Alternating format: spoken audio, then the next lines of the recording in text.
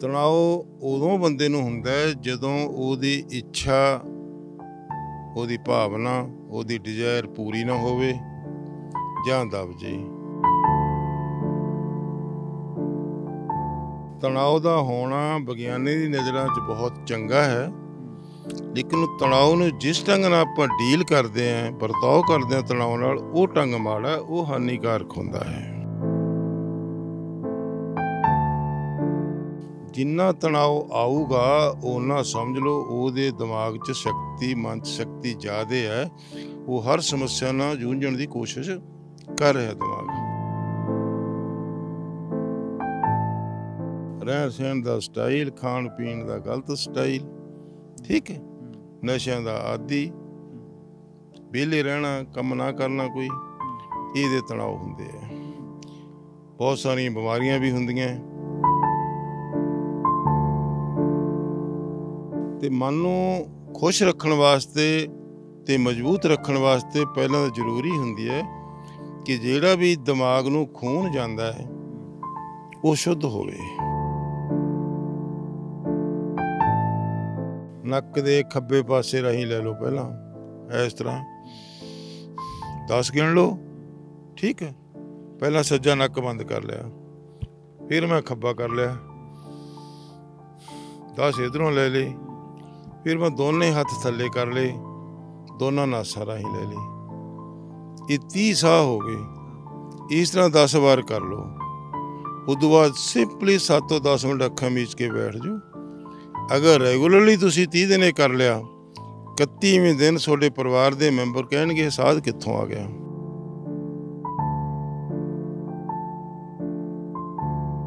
ਮੈਂ ਹਾਂ ਨਵਰੀਤ ਸਿਵੀਆ ਤੇ ਤੁਸੀਂ ਜੁੜੇ ਹੋਏ ਹੋ ਅੱਖਰ ਦੇ ਨਾਲ।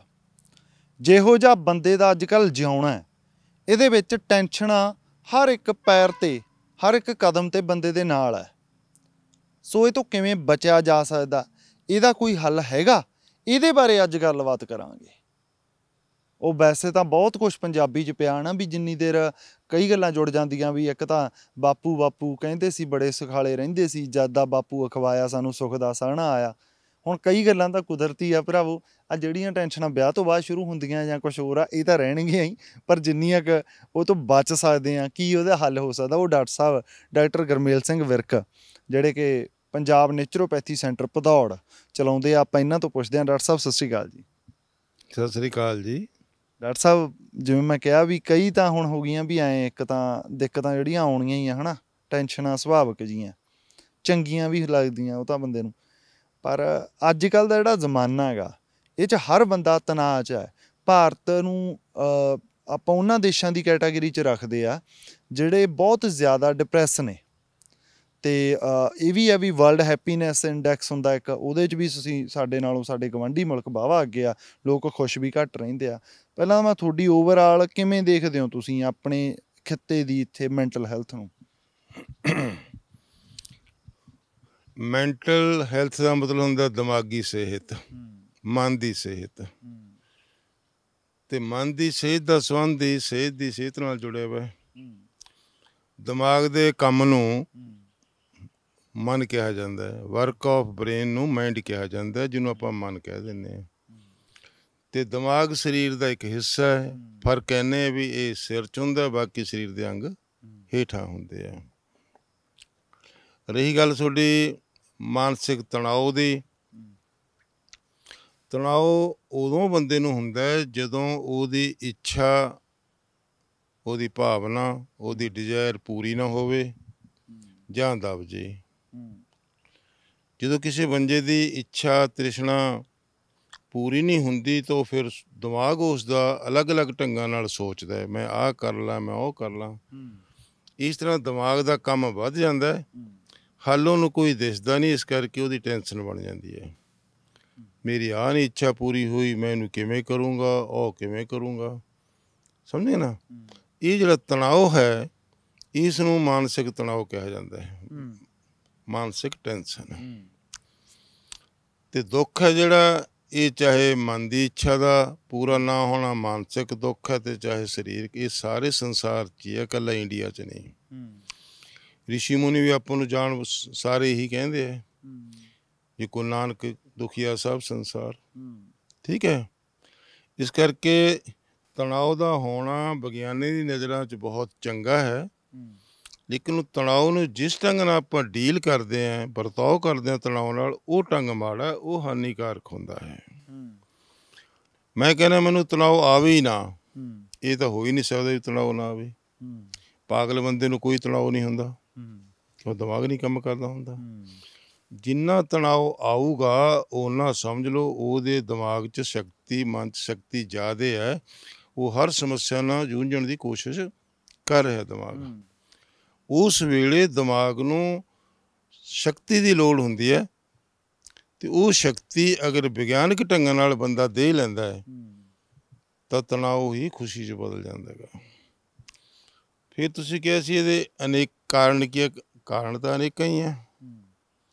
ਰਹਿਣ ਸਹਿਣ ਦਾ ਸਟਾਈਲ ਖਾਣ ਪੀਣ ਦਾ ਗਲਤ ਸਟਾਈਲ ਠੀਕ ਹੈ? ਨਸ਼ਿਆਂ ਦਾ ਆਦੀ ਵਿਹਲੇ ਰਹਿਣਾ ਕੰਮ ਨਾ ਕਰਨਾ ਕੋਈ ਇਹਦੇ ਤਣਾਅ ਹੁੰਦੇ ਆ। ਬਹੁਤ ਸਾਰੀਆਂ ਬਿਮਾਰੀਆਂ ਵੀ ਹੁੰਦੀਆਂ। ਇਹਦਾ ਸੰਬੰਧ ਕੋਈ ਸਾਡੀ ਖੁਰਾਕ ਨਾਲ ਵੀ ਹੈ? ਕੋਈ ਖਾਸ ਖੁਰਾਕ ਹੈ ਜਿਹੜੀ ਉਹ ਵੱਧ ਟੈਨਸ਼ਨ ਕ੍ਰੀਏਟ ਕਰਦੀ ਹੋਵੇ? 100% ਖੁਰਾਕ ਨਾਲ ਸੰਬੰਧਿਤ ਹੈ। ਅੱਛਾ। 100% ਖੁਰਾਕ ਜਿਹੜੀ ਮੂੰਹ ਰਾਹੀਂ ਖਾਂਦੇ ਆ ਉਹ ਖੁਰਾਕ ਵੀ ਮਾੜੀ ਹੈ। ਉਹਦੇ ਨਾਲ ਵੀ ਤਣਾਅ ਵੱਧਦਾ ਹੈ। ਜਿਹੜੀ ਨੱਕ ਰਾਹੀਂ ਖਾਂਦੇ ਆ ਨੱਕ ਰਾਹੀਂ ਕੀ ਖਾਂਦੇ ਆ? ਹਵਾ। ਹਵਾ ਮਾੜੀ ਗੰਦੀ ਹਵਾ ਲੈ ਲਈ। ਠੀਕ ਹੈ ਨਹੀਂ? ਕਾਰਬਨ ਡਾਈਆਕਸਾਈਡ ਜ਼ਿਆਦਾ ਅੰਦਰ ਜਾ ਰਹੀ ਹੈ ਨਾਈਟ੍ਰਸ ਆਕਸਾਈਡ ਜ਼ਿਆਦਾ ਰਹੀ ਹੈ ਤਾਂ ਉਹਦੇ ਨਾਲ ਤਣਾਅ। ਪਾਣੀ ਪੀ ਰਹੇ ਉਸ ਨੂੰ ਅੱਗੇ ਬਹੁਤ ਸਾਰੀਆਂ ਵੀਡੀਓਜ਼ ਦੱਸੇ ਪਾਣੀ ਬਿਲਕੁਲ ਹੀ ਜ਼ਹਿਰੀਲਾ ਚੱਲਦਾ ਹੈ। ਠੀਕ ਹੈ ਨਾ? ਪਲਾਸਟਿਕ ਬੋਤਲਾਂ ਦਾ ਚੱਲਦਾ ਹੈ। ਦਵਾਈਆਂ ਕੁਲੀਆਂ ਵੀ ਦਾ ਚੱਲਦਾ ਹੈ। ਤਾਂ ਤਣਾਅ ਅੱਖਾਂ ਰਾਹੀਂ ਦੇਖਦੇ ਆ ਉਹਦਾ ਤਣਾਅ ਕੰਨਾਂ ਰਾਹੀਂ ਸੁਣਦੇ ਆ ਉੱਚੀ ਆਵਾਜ਼ ਦੇ ਵਿੱਚ ਅੱਜ ਕੱਲ ਦੇਖੋ ਆ ਹੁਣ ਮੋਬਾਈਲ ਚੱਲਿਆ ਹੋਇਆ ਹੈ। ਬਹੁਤ ਨੇੜੇ ਕੰਨ ਨਾਲ ਲਾ ਕੇ ਸੁਣਦੇ ਆ ਠੀਕ ਹੈ? ਜਦੋਂ ਕਿ ਘੱਟੋ ਘੱਟ 3 ਫੁੱਟ ਤੋਂ ਸੁਣਨਾ ਹੁੰਦਾ ਹੈ। ਇਹਦਾ ਸਿੱਧਾ ਸਮਾਗ ਦਿਮਾਗ ਦੇ ਨਾਲ ਹੈ ਦਿਮਾਗ ਕਮਜ਼ੋਰ ਹੁੰਦਾ ਹੈ ਲੋੜਾਂ ਆਪਣੀਆਂ ਵੱਧ ਰਹੀਆਂ ਦਿਮਾਗ ਕਮਜ਼ੋਰ ਹੈ ਤੇ ਲੋੜ ਨੂੰ ਸੋਚਣ ਦਾ ਸਮਾਂ ਨਹੀਂ ਮਿਲਦਾ। ਦਿਮਾਗ ਨੂੰ ਮੈਂ ਕਿਵੇਂ ਹੱਲ ਕਰਾਂ? ਅੱਖਾਂ ਰਾਹੀਂ ਤਣਾਅ ਪੈਦਾ ਹੁੰਦਾ ਹੈ। ਸਾਰਾ ਦਿਨ ਗਲਤ ਰੰਗ ਦੇਖਦੇ ਆ ਕੰਨਾਂ ਰਾਹੀਂ ਹੋ ਗਿਆ ਨੱਕ ਰਾਹੀਂ ਗੰਦੀ ਹਵਾ ਖਿੱਚਦੇ ਆ ਮੂੰਹ ਰਾਹੀਂ ਖਰਾਕ ਖਾਂਦੇ ਆ ਠੀਕ ਨਹੀਂ? ਤੇ ਮਨ ਨੂੰ ਖੁਸ਼ ਰੱਖਣ ਵਾਸਤੇ ਤੇ ਮਜ਼ਬੂਤ ਰੱਖਣ ਵਾਸਤੇ ਪਹਿਲਾਂ ਤਾਂ ਜ਼ਰੂਰੀ ਹੁੰਦੀ ਹੈ ਕਿ ਜਿਹੜਾ ਵੀ ਦਿਮਾਗ ਨੂੰ ਖੂਨ ਜਾਂਦਾ ਹੈ ਉਹ ਸ਼ੁੱਧ ਹੋਵੇ।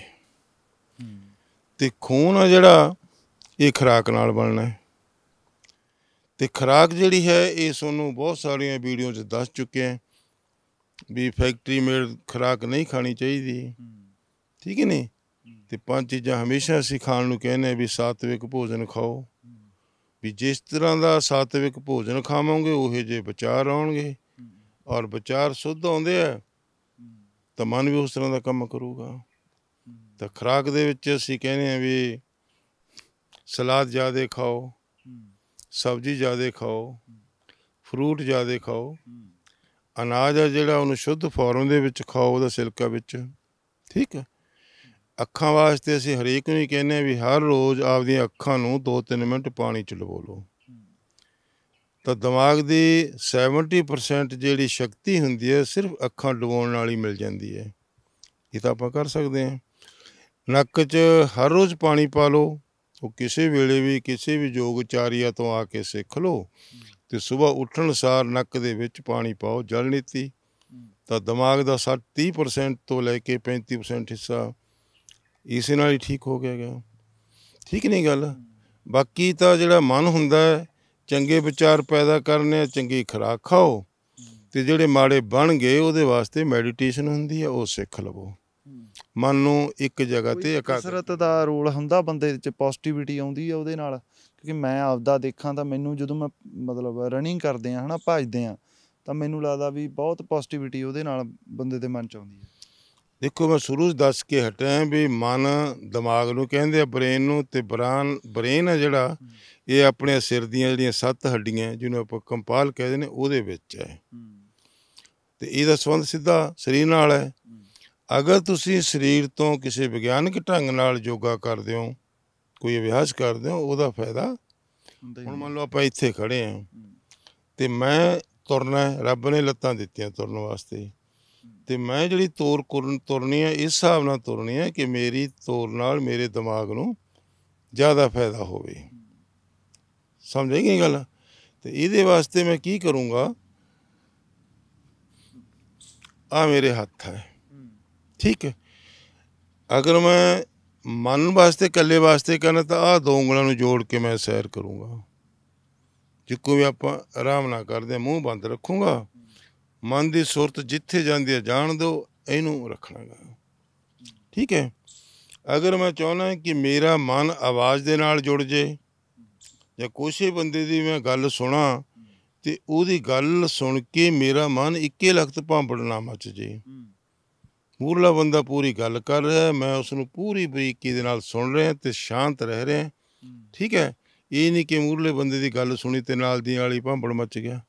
ਉਹਦੇ ਵਾਸਤੇ ਆ ਦੋ ਉਂਗਲਾਂ ਹੁੰਦੀਆਂ। ਆਹਾ। ਤੇ ਆਰਾਮ ਨਾਲ ਤੁਰਨਾ ਹੁੰਦਾ ਹੈ। ਨਹੀਂ ਸਮਝੀ? ਤੁਰਨਾ ਉਸੇ ਤੋਂ ਹੀ ਹੈ ਬਾਹਾਂ ਸਿਰਫ ਆ ਗੇਰ ਹੈ ਆ ਵਿਚਾਲੜੀ ਉਂਗਲ।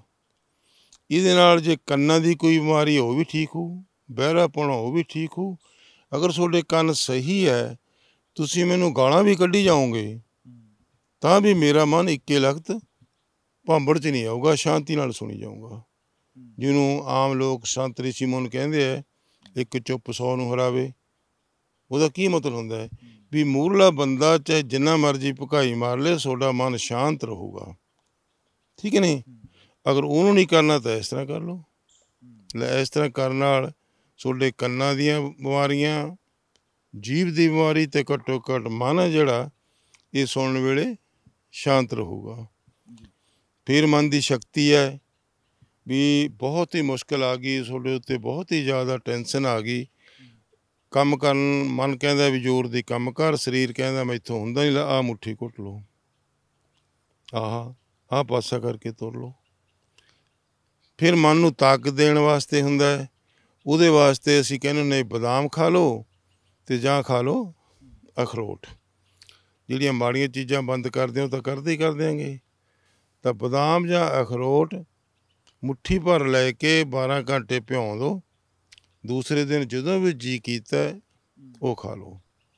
ਜਿਆਦੇ ਮਾਨਸਿਕ ਕਮਜ਼ੋਰ ਆ ਤਾਂ ਬਦਾਮਾਂ ਨੂੰ ਛੱਡ ਕੇ ਇਕੱਲੇ ਬਦਾਮ ਉਹ ਖਾ ਲਓ ਅਖਰੋਟ। ਖਾ ਲਓ।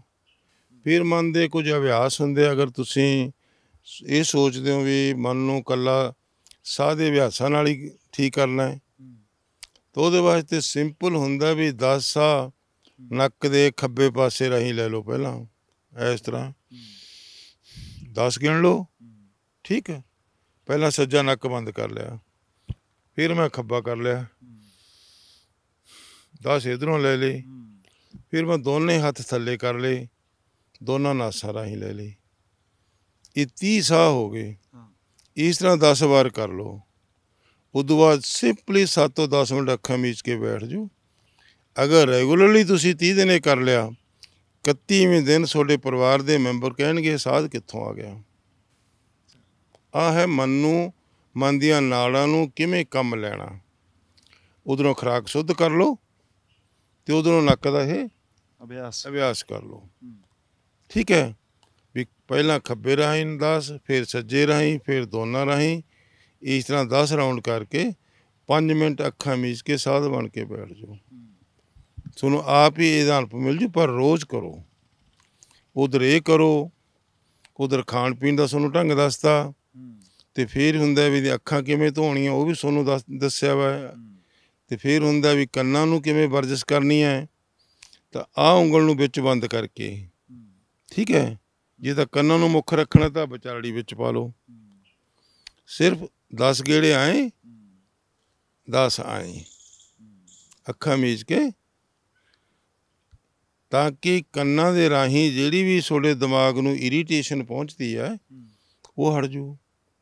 ਹੁਣ ਹੈਗਾ ਵੀ ਕਈਆਂ ਨੂੰ ਕੋਈ ਚੀਜ਼ ਖਾਣ ਸਾਰੀ ਮਨਪਸੰਦ ਦੀ ਚੀਜ਼ ਨਹੀਂ ਮਿਲੀ। ਮਨਪਸੰਦ ਦੀ ਚੀਜ਼ ਜੀਭ ਤੇ ਲੱਗੀ। ਉਸੇ ਵੇਲੇ ਆਪਣੇ ਮਨ ਨੂੰ ਅੱਗ ਲੱਗ ਜਾਂਦੀ ਹੈ। ਹਾਏ ਮਾੜੀ ਚੀਜ਼ ਬਣ ਗਈ ਹਾਏ ਮਾੜੀ ਬਣਾਤੀ ਇਹ ਫਲਾਣੇ ਨੇ ਕਰਤਾ। ਉਸ ਵੇਲੇ ਜੀਭ ਕੌੜਾ ਬੋਲਦੀ ਹੈ ਤੇ ਲੜਾਈ ਪੈ ਜਾਂਦੀ ਹੈ। ਤਾਂ ਉਹਦੇ ਵਾਸਤੇ ਕੀ ਹੁੰਦਾ ਹੈ? ਜਦੋਂ ਇਹ ਕੰਨਾਂ ਦਾ ਕੰਮ ਕਰਕੇ ਹਟੋ ਉਸੇ ਵੇਲੇ ਹੀ ਜੀਭ ਨੂੰ 10 ਗੇੜੇ ਕਲੌਕਵਾਈਜ਼ ਦੰਦਾਂ ਦੇ ਆਲੇ ਦੁਆਲੇ ਦੇ ਲਓ।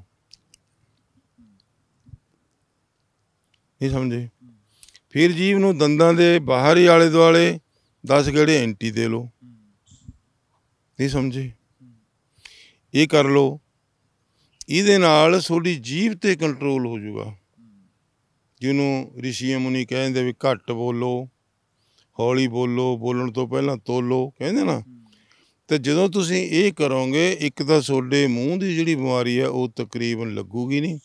ਕਿਸੇ ਦਾ ਮੂੰਹ ਪੱਕ ਗਿਆ, ਕਿਸੇ ਦੇ ਛਾਲੇ ਹੋ ਗਏ। ਤੇ ਇੱਕ ਉਹੀ ਜੀਵ ਉਹ ਬੋਲਦੀ ਰਹਿੰਦੀ ਹੈ, ਤੁਤਲਾ ਜਿਹਾ ਬੋਲਦੀ ਹੈ। ਅਗਰ ਤੁਹਾਡਾ ਸਾਰਾ ਕੁਝ ਹੀ ਠੀਕ ਹੈ ਤਾਂ ਜੀਭ ਵੀ ਜਿਹੜੀ ਤੁਹਾਡੀ ਹੈ ਇਹ ਕੰਟਰੋਲ 'ਚ ਹੋ ਜਾਊਗੀ। ਤੇ ਜਦੋਂ ਕਿ ਹਰ ਬਿਮਾਰੀ ਦੀ ਅੱਜ ਕੱਲ ਜੜ ਲੜਾਈ ਝਗੜੇ ਦਾ ਕਾਰਨ ਜੀ ਆਪ ਵੀ ਸਿਆਣੇ ਤੋਂ।